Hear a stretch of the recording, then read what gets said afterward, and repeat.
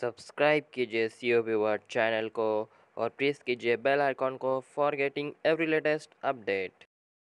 Hello friend, welcome to the C O P world YouTube channel. तो बहुत सारे student मुझे इंस्टाग्राम पे मैसेज करके ये सेम क्वेश्चन पूछ रहे हैं फ्रेंड्स कि अगर जेई मेंस 2020 की एग्ज़ाम पोस्टपोन हो जाती है तो M S T C T twenty twenty की एग्ज़ाम पोस्टपोन होगी क्या?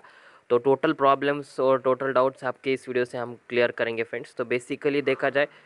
तो बहुत सारे स्टूडेंट ने यही क्वेश्चन किया था फ्रेंड्स तो अभी 17 अगस्त को सुप्रीम कोर्ट इस पर डिसीज़न देने वाला है कि जेई मेंस की एग्ज़ाम पोस्टपोन होगी कि नहीं होगी। तो अगर जेई मेंस की एग्ज़ाम पोस्टपोन हो जाती है फ्रेंड्स तो एम एस टी एग्ज़ाम के पोस्टपोन होने के चांसेस भी बहुत ज़्यादा बढ़ जाते हैं, क्योंकि महाराष्ट्र में बहुत ज़्यादा केसेस है।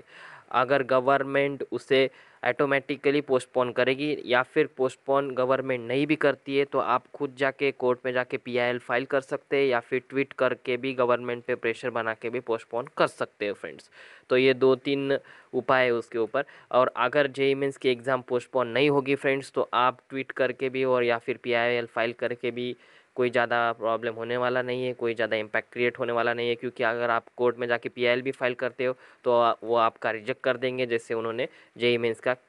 किया होगा तो। तो कल हमें पता चल जाएगा कि जेई मेंस की एग्ज़ाम पोस्टपोन होगी कि नहीं, और उस हिसाब से हमें एम एस टी के पॉसिबल टाइम शेड्यूल भी पता चल जाएगा फ्रेंड्स, क्योंकि अभी तक जेई मेंस का कोई भी एडमिट कार्ड इशू उन्होंने किया नहीं है, और सत्रह अगस्त को कोर्ट अपना डिसीज़न देने वाला है कल में। तो कल